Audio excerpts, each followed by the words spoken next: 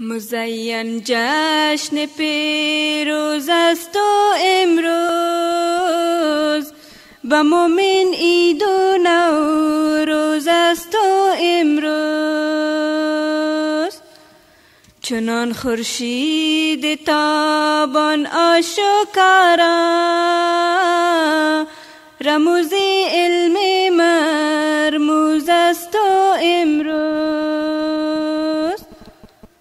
کلام دل کشی علم الهی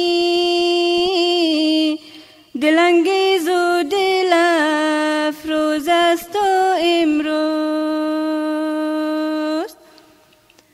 دل صاحب دلان را علم توحید.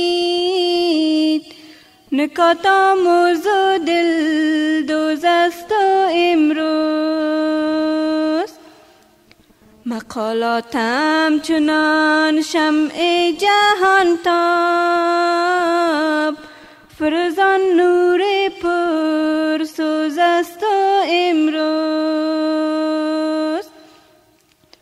به چشم من کریم ابن علی شاه.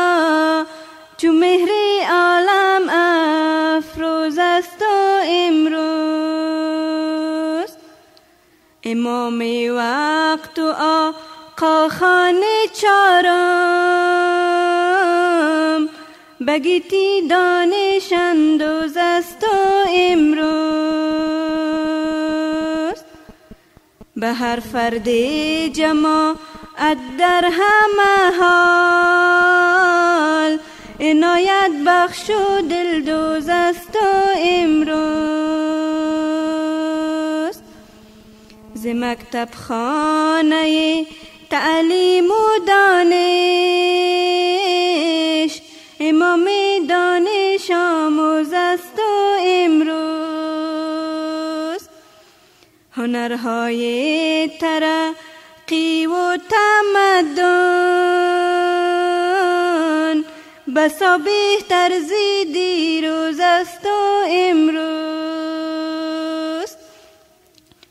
سخن آخر که در چشم جهان بین. جهان یک جلوه افروز است و امروز.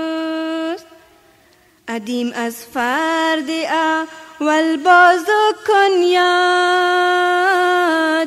مزین جشن پیروز است و امروز. و مومن عید و